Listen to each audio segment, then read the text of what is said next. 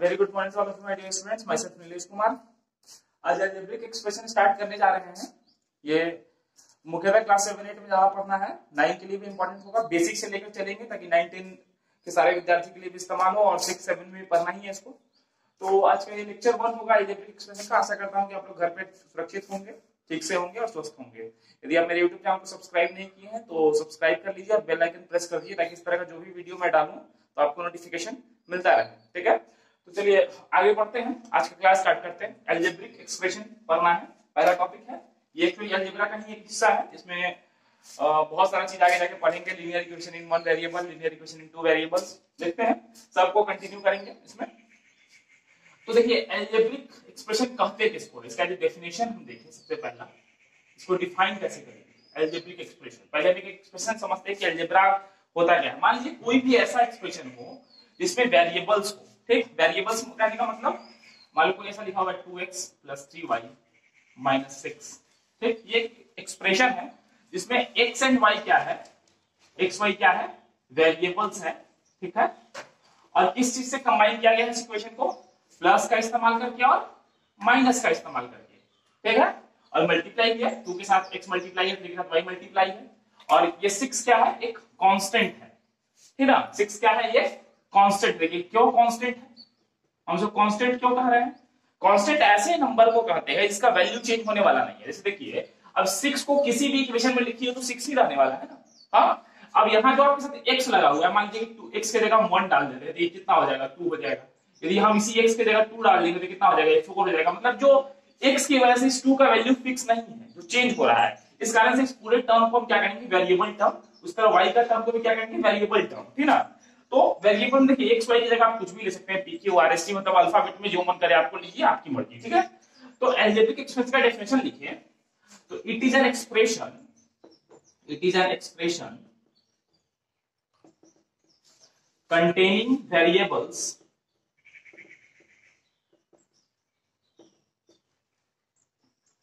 combined by simple mathematical operation या symbols लिख देते हैं। Simple mathematical symbols simple mathematical symbols का मतलब क्या है? प्लस होगा या माइनस होगा या फिर गुना होगा या डिवाइड होगा, यही होगा। इसके अलावा और कुछ भी नहीं होगा। है ना? तो देखिए यहाँ पे प्लस का इस्तेमाल किया माइनस का इस्तेमाल किया और एक एग्ज़ाम्पल देख लेते हैं। यहाँ पे लिख लेते हैं। मान लीजिए ऐसा एक्सप्रेशन है, इसमें दिया हुआ है four x y plus three z divided six. ऐसा कुछ इक्वेशन हो सकता है, इसका वैल्यू दिया रहेगा। ये भी एक एल्जेब्रिक इक्वेशन है, इसमें प्लस है और क्या है? डिवाइड मल्टीप्लाई तो है ही दोनों के बीच में। जो मतलब फोर एक्स वाई के बीच में साइन मतलब क्या है? मल्टीप्लाई है। तो ये एक एल्जेब्रिक इक्वेशन का डेफिनेशन हो गया। तो आप कोई भी ऐसा लिख सकते हैं एग्जांपल ज़रूरत नहीं कि आप कुछ भी लिख दीजिए 2x 3y 8 0 ठीक है कुछ भी। Five x seven y minus six is equal to zero कुछ भी लिखिए। वो ज़ीरो नहीं दीजिएगा तो कोई दिक्कत नहीं है। ज़ीरो में दीजिए क्वेश्चन बनाने के लिए। आप कुछ भी लिखिए एग्ज़ाम्पल से कोई दिक्कत नहीं है ठीक ना? बस ध्यान रखिएगा कि उसमें वेरिएबल्स होनी चाहिए और सिंपल मैथमेटिकल ऑपरेशन से वो कंबाइन होती जो क्या प्लस माइनस गुना डिवाइड कुछ भी होना चाहिए। तो ऐसे एक्सप्रेशन को हम क्या कहेंगे? एल्जेब्रिक एक्सप्रेशन कहेंगे। समझ में आ गया होगा? चलिए आगे चलते हैं। अब देखिए एल्जेब्रिक एक्सप्रेशन में कुछ चीज़ आते हैं, जैसे कोफिशिएंट कांस्टेंट जैसे मैंने कहा। तो वो सब क्या होता है? जरा समझ लेते हैं। ठीक है? डिग्री आएगा वो सब चीज़ को पहले समझते हैं बेसिक टर्म्स पूरा समझते हैं, इस लेक्चर में हम लोग। सबसे पहले आता है कोफिशिएंट है ना? तो कोफिशिएंट होता क्या है, उसका एग्जांपल समझाते हैं। एल्जेब्रिक एक्सप्रेशन का वेरियस टर्म्स है। सबसे पहले कोफिशिएंट कोफिशिएंट होता क्या है? किसी भी वेरिएबल का जो कांस्टेंट होता है ना? The constant constant value of any variable is called coefficient. जैसे मान लीजिए कुछ इक्वेशन ऐसा लिखा हुआ है कि two x plus three y plus seven equation है। अब इसमें बोल दे कि आप x का कोफिशिएंट बताइए। तो x का कोफिशिएंट क्या है? इसका कांस्टेंट टर्म कौन सा है? टू है। हाँ? तो यदि कोई x का कोफिशिएंट पूछेगा तो क्या बता देंगे? हम टू ये टू हो गया कोफिशिएंट ठीक? उसी तरह आपसे कोई और इक्वेशन ले लेते हैं। मान लीजिए दिया हुआ है two x y plus three y plus seven ये हो गया। अब देखिए, यहाँ पे तो सिर्फ़ कांस्टेंट था, लेकिन यहाँ पे देखिए वेरिएबल भी आएगा मान लीजिए आपसे कोई पूछ लिया कि इसको जेड ले लेते हैं कंफ्यूजन हो जाएगा वाई का दो दो कोफिशिएंट हो जाएगा। कि वाई का कोफिशिएंट क्या है? ये ये वाले टर्म का कोफिशिएंट क्या है? ये वाले टर्म का कोफिशिएंट निकालने के लिए इस वाई को छोड़ के जो बचा उसको लिख दीजिए। इस वाई को छोड़ के जो बचा उसको लिख देते इसका कोफिशिएंट क्या हो गया? टू हो गया इसका कोफिशिएंट तो मतलब जिसका भी कोफिशिएंट पूछेगा, उस चीज़ को छोड़ के मतलब वो एक्स वाई जेड कुछ भी हो, उसको छोड़ के बाकी सारा कुछ जो बचेगा उस टर्म में, उसको छोड़ देंगे। इस एक चीज़ को हम लोग क्या कहते हैं? टर्म कहते हैं। क्या कहते हैं? टर्म ये सारा क्या है? टर्म है। ये क्या है? टर्म है। पूछे, इस एल्जेब्रिक एक्सप्रेशन में कितना टर्म है? तो वन टू थ्री टर्म है ठीक है उसको कहेंगे टर्म्स फिर दूसरा आता है कोफिशिएंट हो गया उसका डिग्री डिग्री ऑफ़ इक्वेशन के बारे में आगे पढ़ेंगे. The maximum value of a variable in a equation. जो मैक्सिमम वैल्यू होता है, एक इक्वेशन में किसी भी वेरिएबल के ऊपर, उसको क्या कहते हैं? हम डिग्री ऑफ़ द इक्वेशन कहते हैं। जैसे इसी इक्वेशन को लिखते हैं। Two x y plus three z plus one अब तो बोलिएगा, यहाँ पे तो सब कुछ दिख नहीं रहा मतलब पावर वन है, नहीं। देखिए, यहाँ वेरिएबल कितना है? इस पे कुछ नहीं इसमें कुछ नहीं मतलब क्या है? वन है। यहाँ पे कुछ नहीं है मतलब क्या है? वन है। अब इस टर्म को देखिए सिर्फ़ तो दो वेरिएबल था और दोनों पे एक एक पावर है। इसका डिग्री पावर कितना हो गया? मतलब टू पावर हो गया। और इस पे कितना है? वन है। यह दो वेरिएबल है। तो मतलब इसका डिग्री कितना हो जाएगा? टू हो जाएगा, ठीक है ना? तो जो मैक्सिमम पावर वेरिएबल पे होता है, उसको हम क्या कहते हैं? डिग्री कहते हैं। ठीक है? तीसरा का और भी जो टर्म्स आगे मिलेगा, उसके बारे में हम लोग पढ़ेंगे। चलिए, आगे देखते हैं। और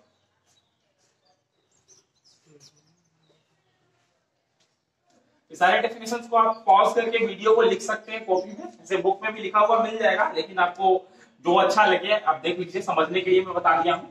ठीक ना? अब देखिए, यहाँ पे टाइप्स ऑफ़ इक्वेशन पढ़ते हैं on the basis of terms ठीक ना? Types of algebraic expression on the basis of number of terms कितना नंबर ऑफ़ टर्म्स है उसके बेसिस पे एल्जेब्रिक एक्सप्रेशन को हम लोग डिफाइन करेंगे, ठीक है? तो देखिए, सबसे पहला आता है मोनोमियल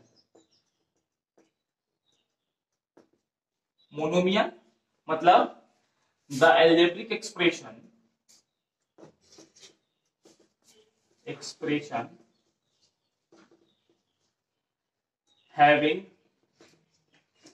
single term सिर्फ़ एक ही टर्म हो तो उसको क्या कहेंगे?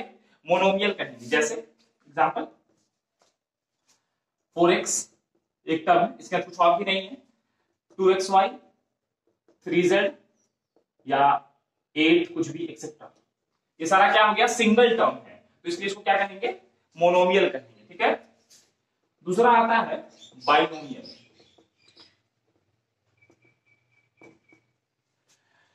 ऐसा एल्जेब्रिक एक्सप्रेशन जिसमें कितना टर्म हो? बाई मतलब दो। The algebraic expression containing two terms दो टर्म्स के अंदर हो। जैसे four x plus eight three x y plus three z उस तरह का दो टर्म है। एक ये है, एक ये है। तो उसको क्या कहेंगे? बाइनोमियल कहेंगे। ठीक है? उसके बाद आता है ट्राइनोमियल ठीक? नाम से समझ में आ रहा है। ट्राई मतलब तीन। The algebraic expression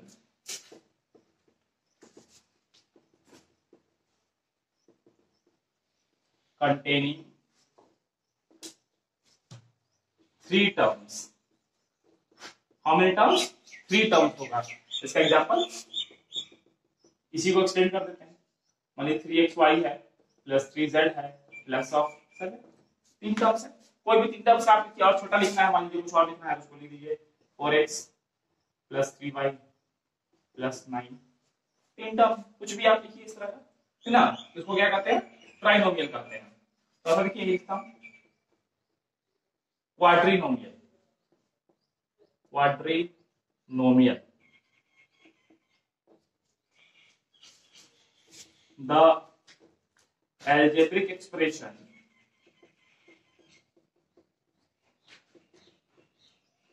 containing four terms. कितना टर्म्स कंटेन करेगा? फोर टर्म्स को क्या कहेंगे? क्वाड्रीनोमियल कहेंगे। जैसे देख लीजिए, चार टर्म्स कुछ भी लेते हैं। Three x two y z plus x चार टर्म्स है। जेड मतलब ये कुछ नहीं मतलब क्या है? वन है। अंडरस्टूड है? ठीक है? यहाँ चार टर्म हो गया इसको क्या कहेंगे? क्वाड्रीनोमियल लास्ट वन इसमें on the basis of number of terms उसमें हम लोग पढ़ेंगे। ये सब आप एक बार ध्यान से वीडियो को देखिएगा। आगे इसमें बहुत इसका यूज़ होगा, ठीक ना? उसको सॉल्व करने में बहुत तरह क्वेश्चन भी देखिए। बेसिक्स नहीं समझ में आएगा तो फिर दिक्कत हो जाती है बनाने में क्वेश्चन तो इसलिए जो बेसिक का वीडियो है, उसको एकदम अच्छे से ध्यान से देखिएगा, ठीक है? देखिए फाइव नंबर पॉलिनोमियल नाम सुने ही होंगे। The algebraic expression expression containing two or more than two term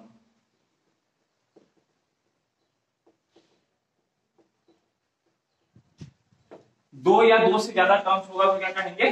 polynomial मतलब बाइनोमियल भी पॉलिनोमियल है ट्राइनोमियल भी पॉलिनोमियल है क्वाड्रिनोमियल भी पॉलिनोमियल है। इसका कोई भी एग्जांपल उठा के आप यहाँ पे लिख सकते हैं। दो या दो से ज़्यादा जो भी टर्म है वो सारा क्या कहलाएगा? पॉलिनोमियल्स कहलाएगा। ठीक है? तो आज के लेक्चर में इतना ही जाने देते हैं। अगले लेक्चर में डिग्रीज के बारे में पढ़ेंगे। ठीक है? आशा करता हूँ आपको समझ में आ रहा होगा, मैं फिर से कह रहा हूँ पुराने क्लास का जो भी लेक्चर डाला हुआ है मैंने अभी तक रेशनल नंबर और एक्सपोनेंशियल पावर पढ़ा दिया है, आप उसको ज़रूर से जाके देख लीजिए, ताकि आपको समझ में आ जाए। यदि वीडियोस में कुछ भी प्रॉब्लम है नहीं दिखता है, या भाई कुछ समझ में नहीं आ रहा, ज़्यादा फास्ट हो रहा है तो कमेंट में लिख ज़रूर हमको बताइए, लिख के ताकि मैं उसे सुधार कर सकूँ। तब तक के लिए घर पे ही रहिए, सुरक्षित रहिए, स्वस्थ रहिए। Thank you